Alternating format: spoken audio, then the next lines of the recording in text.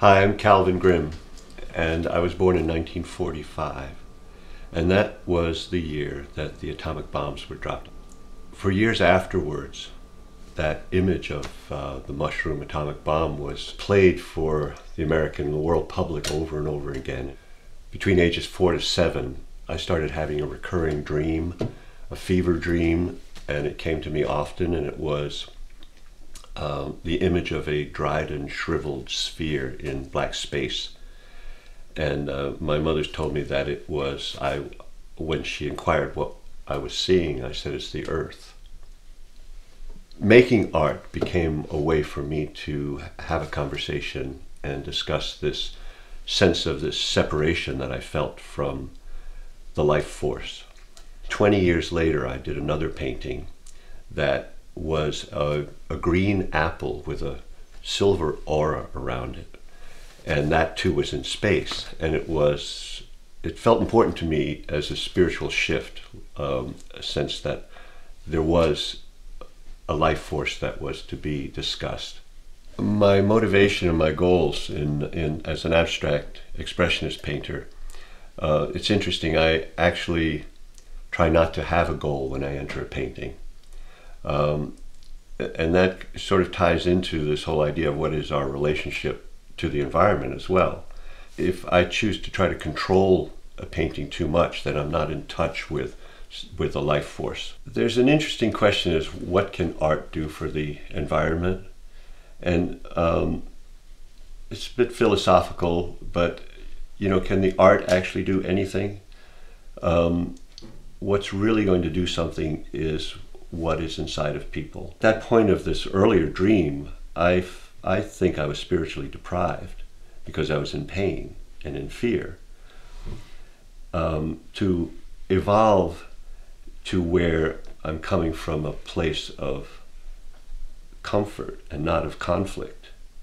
Um, and that is love, and from that love comes an expression through the art. So the art isn't really doing it, I'm doing it. And so, in the same way, we're all doing it. So, I think it's important to keep the focus on our own spiritual health. And from that, we can accomplish great things, no matter what the medium is. An organization that I worked with was the National Outdoor Leadership School. Uh, they're based in Lander, Wyoming. Its purpose was to teach wilderness skills and respect for the environment. So we would take five week long expeditions. I was uh, first a student and then a course leader and instructor. And uh, we would teach wilderness skills in the real world, in the real wilderness.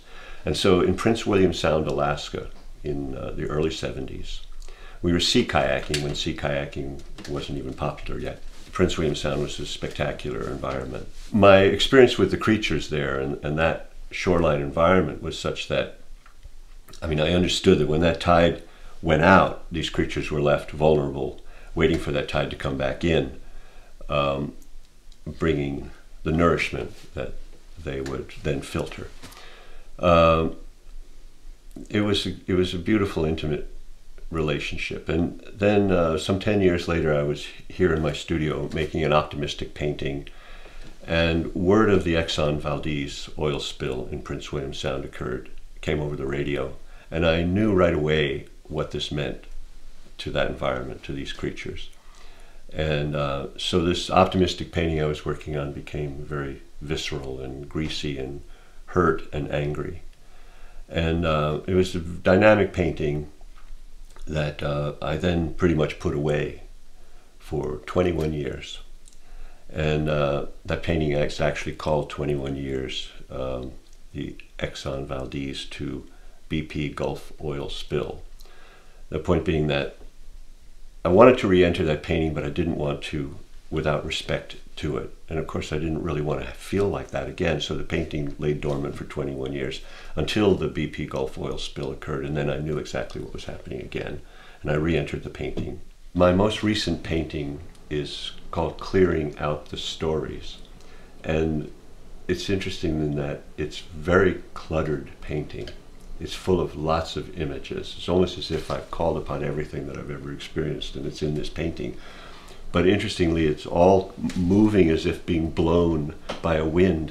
It's moving in one direction as if leaving the canvas. And um, I decided to call it a clearing out the stories because this is what needs to happen is that all these stories that I've been carrying with me are heavy, heavy baggage.